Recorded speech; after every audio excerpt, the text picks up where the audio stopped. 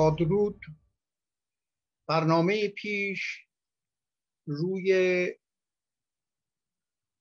مفهوم مشخصات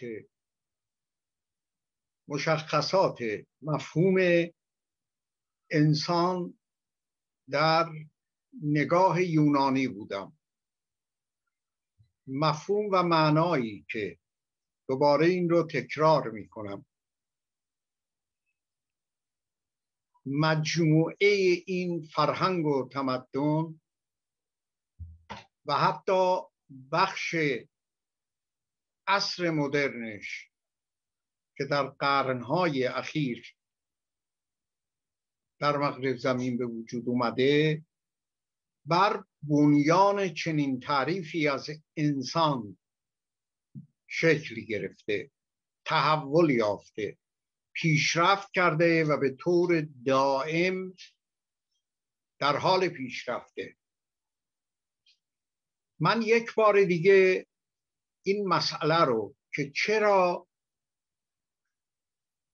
مفهوم و معنای بنیانی انسان یا تعریف انسان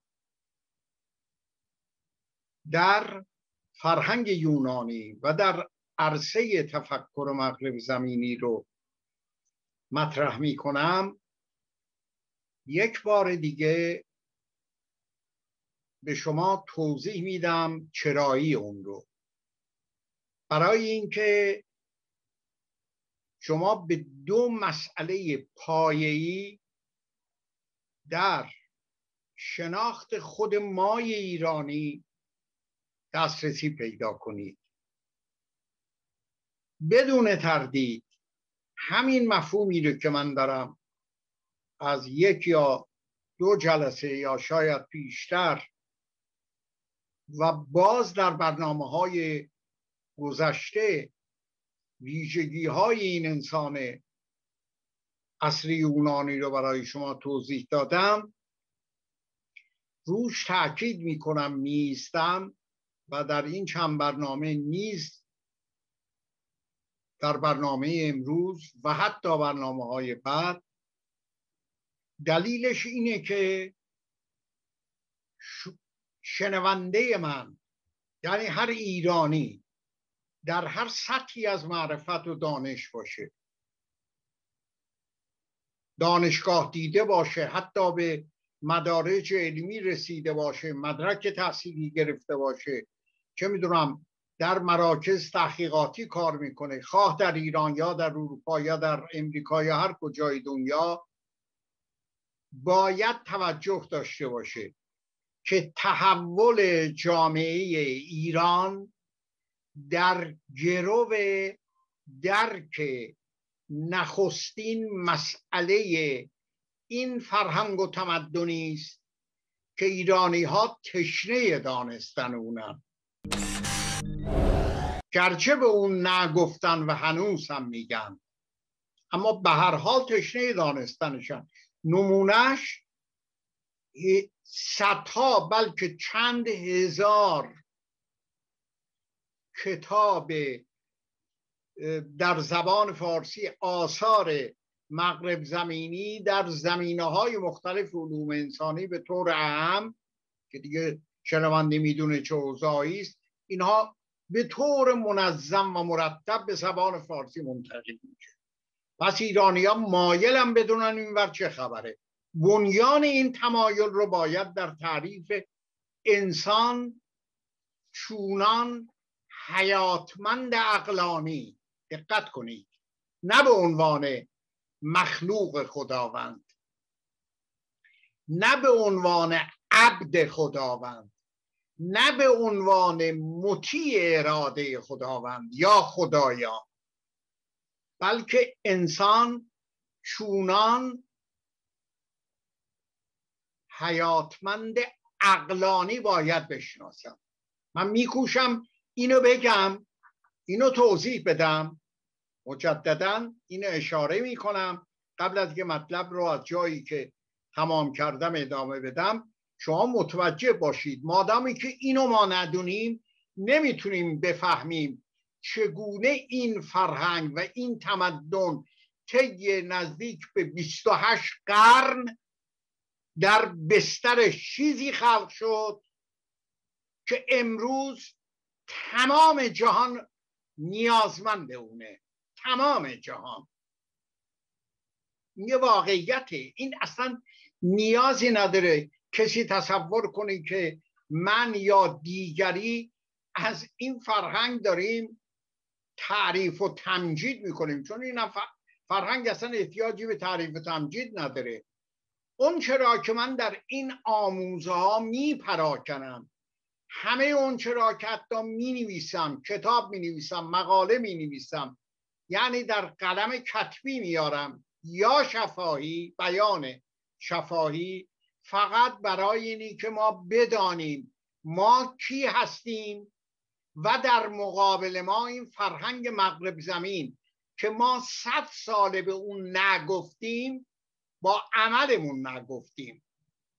احتمالا در یه دوره در دوره پهلوی ها کوشیدیم به نوعی بعضی از ثمرات این تمد فقط ثمراتش رو یعنی همون چیزی که مدل های مدرنیزم منتقل کنیم به ایران. سعی کردیم به حال سعی کردیم در این تردیدی نیست. ولی ایرانی ها نپذیرفتند من این رو فقط اشاره می‌کنم چون به بحثم مربوط نیست به صحبتم به این سوژه ای که الان روش هستم مربوط نیست میگذرم تا در یه گفتار دیگری برگردم. ایرانی ها اینو چند بار تو ذهنم گردوندم به شما بگویم. در سال 58 57 در زمستان 57 خیلی روشن بسیار نیرومند یک پارچه و متحد به هر آنچه که به عنوان پدیده های فرهنگ نوین مغرب زمینی به ایران آمده بود نگفتند.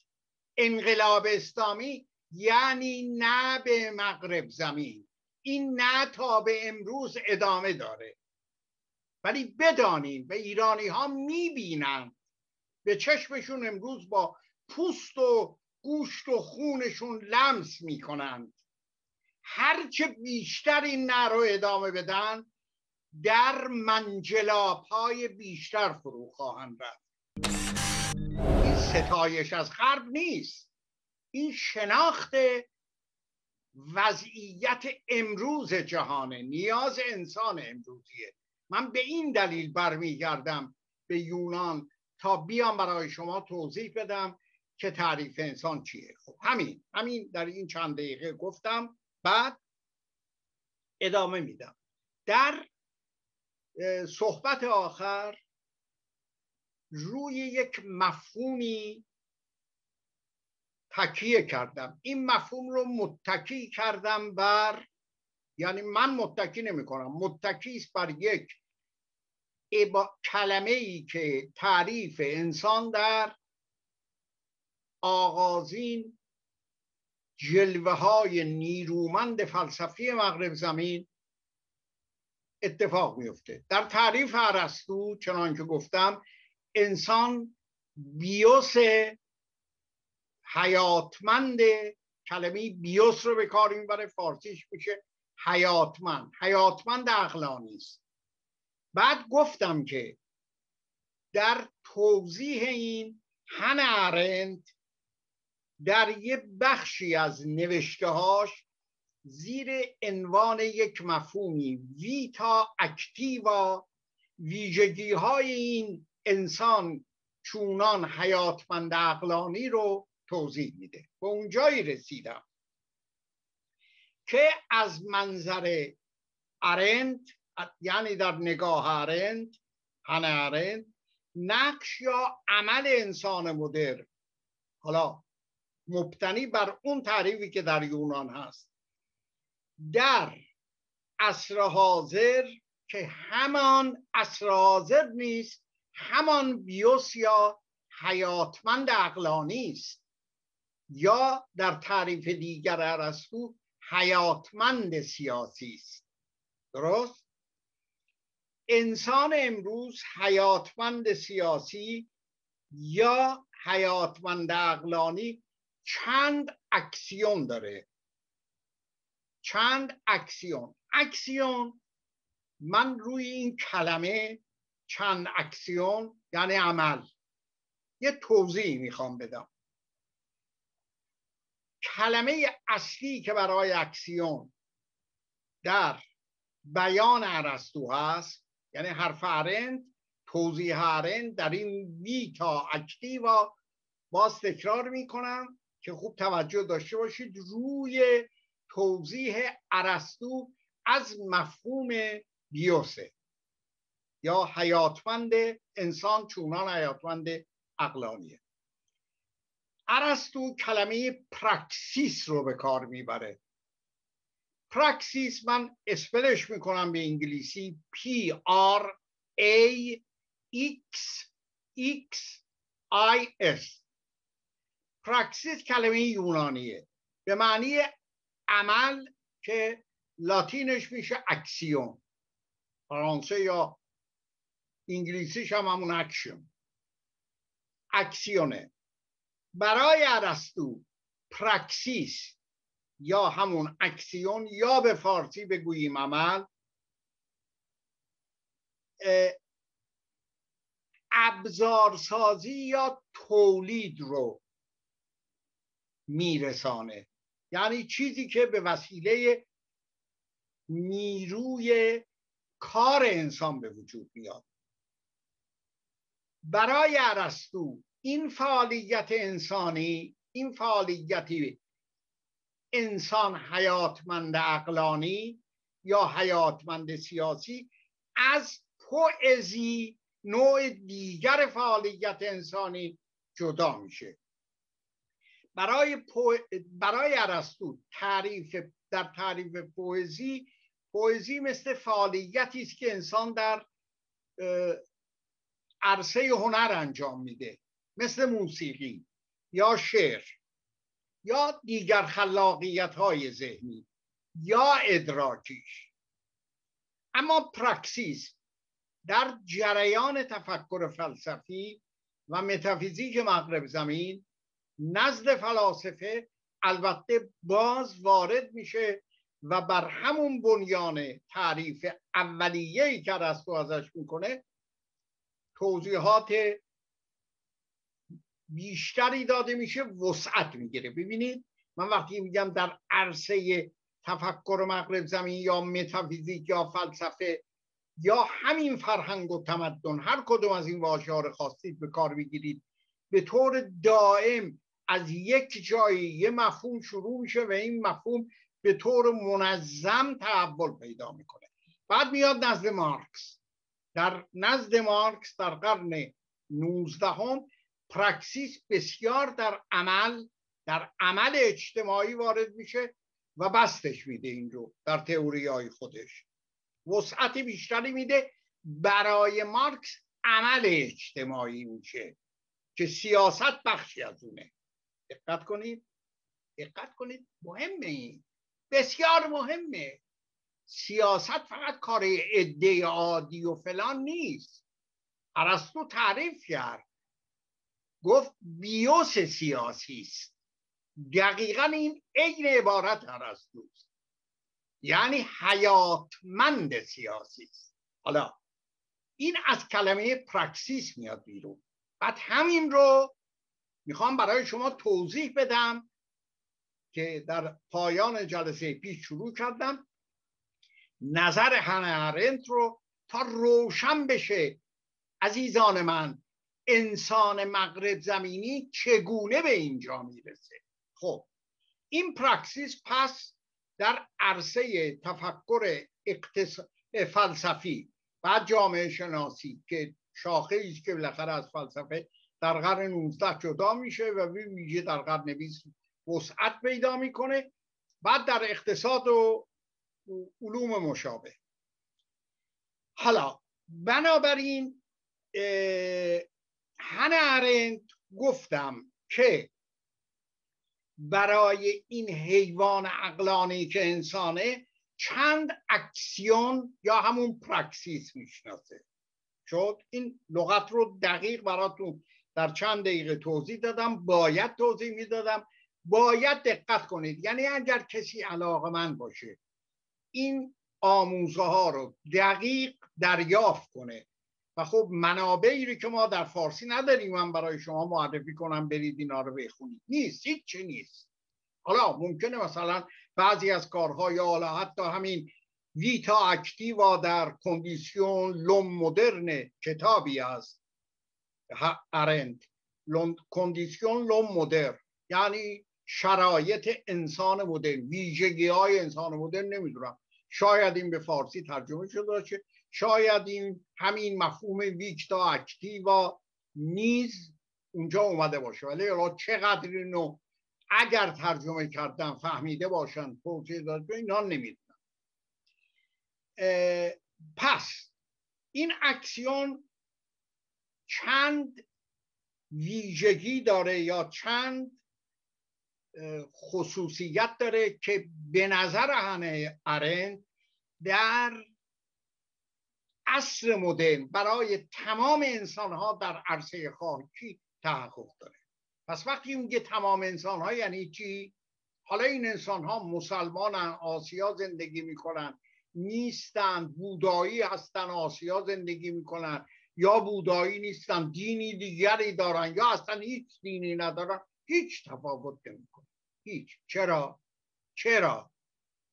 زیرا کسی که انسان سخن میگه میاندیشه در هر کجای دنیا باشه مشابه نوع دیگری از انسانی که در گوشه دیگر دنیاست.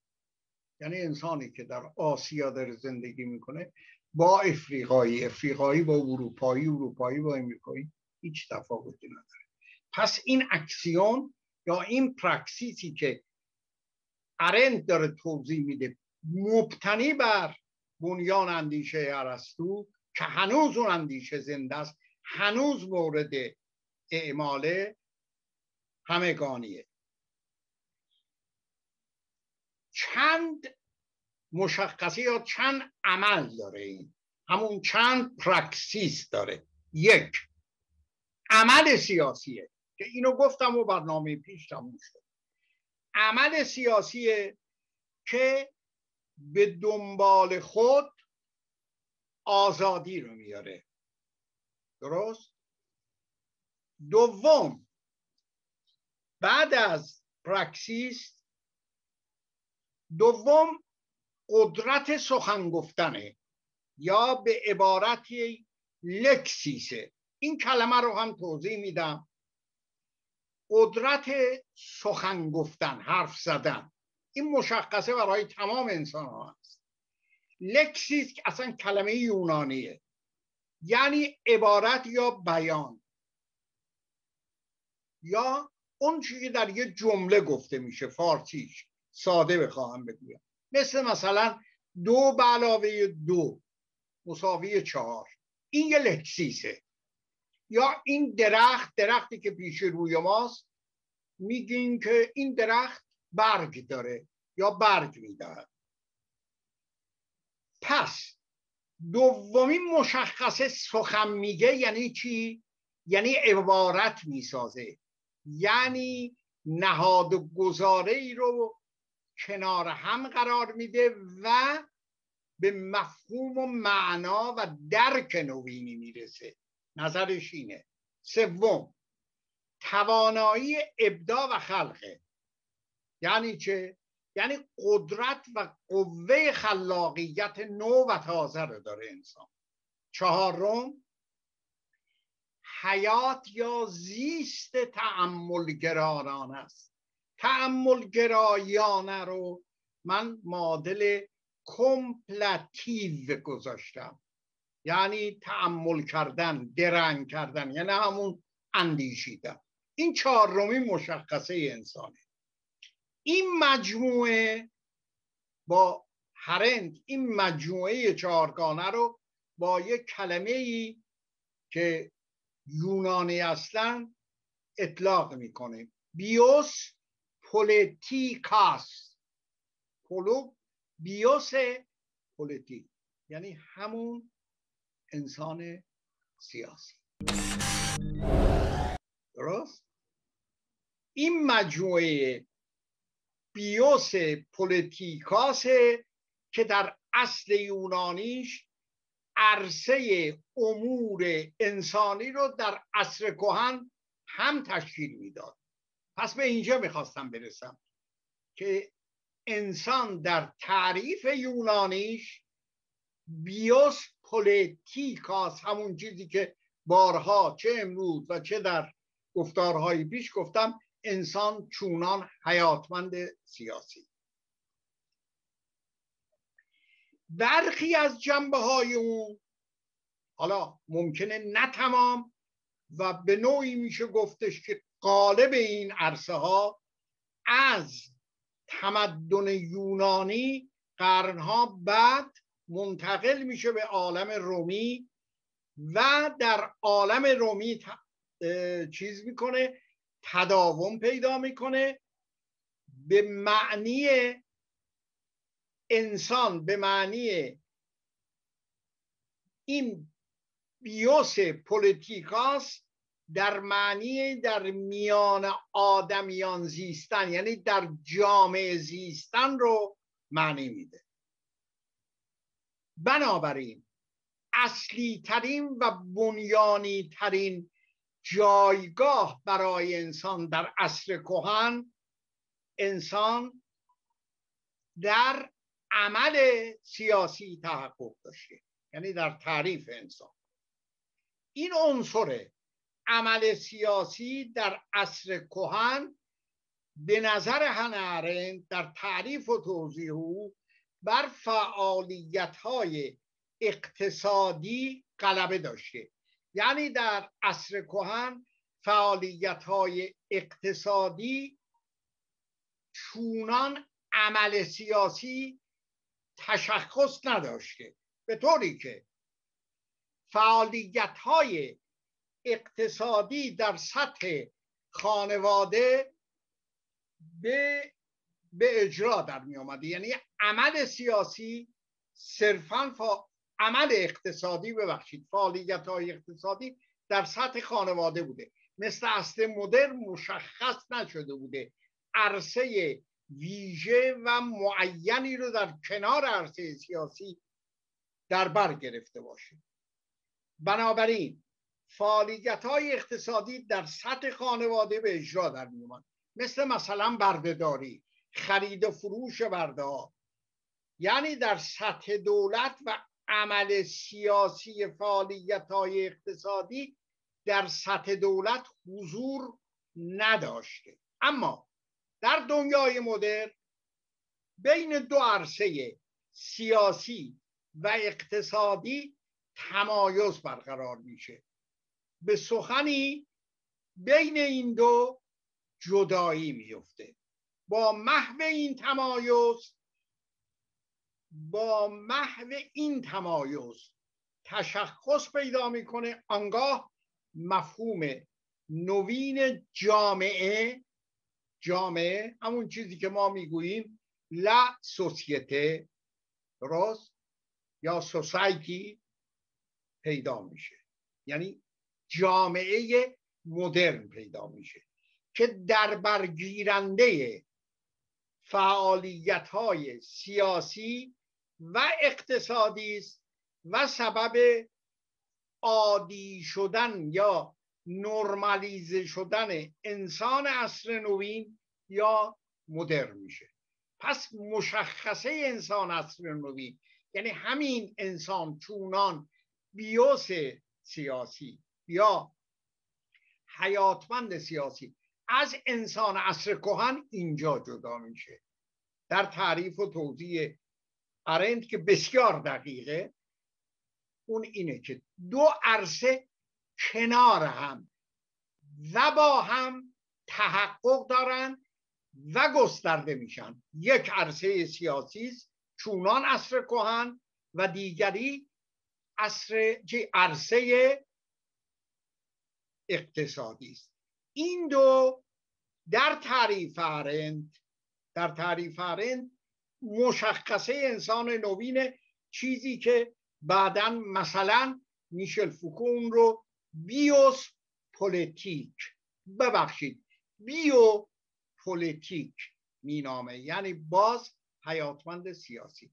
فعلا به همینجا تمام می‌کنم و ادامه و بقیه مسائلی که وجود داره می‌ذارم به بحث بعدی و جلسه بعد. فعلا همین و تا بعد و مرسی.